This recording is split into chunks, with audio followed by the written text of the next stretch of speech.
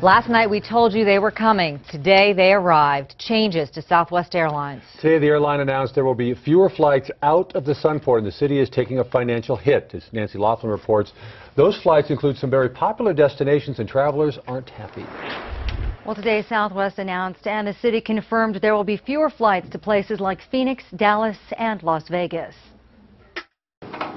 It was something city leaders, Sunport officials, and travelers had been bracing for. The state's most popular airlines cutting flights out of New Mexico. I'm a little disappointed actually because they're a great provider of air service from this region. The city says five daily flights are gone for good. Three to Dallas, one to Phoenix, and one to Las Vegas. And depending on travel season, the airline could cut up to 11 flights out of the Sunport.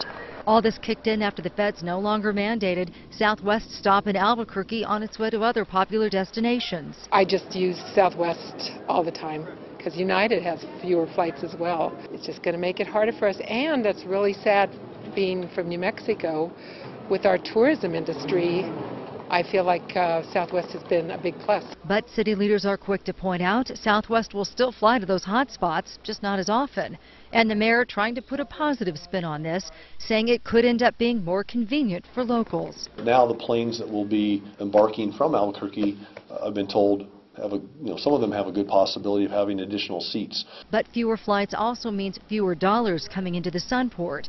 Southwest makes up 58% of Sunport's traffic, and now the airline won't be paying as much in landing fees. We are going to be losing a little bit of revenue, not nearly as much as we had forecast. A Southwest spokesman promises the airline that made its name on flying for peanuts won't jack up prices.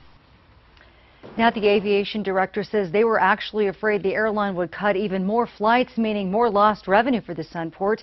They were bracing for a 6% loss in landing fees. Now, they say it'll end up being about 4%. I asked what that translates to dollar-wise. The city is trying to come up with that number.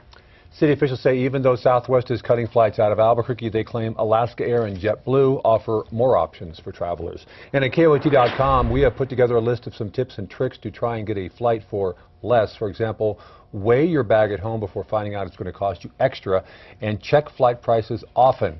For more helpful ideas, look at the feature section on the left side of our homepage. A woman says thieves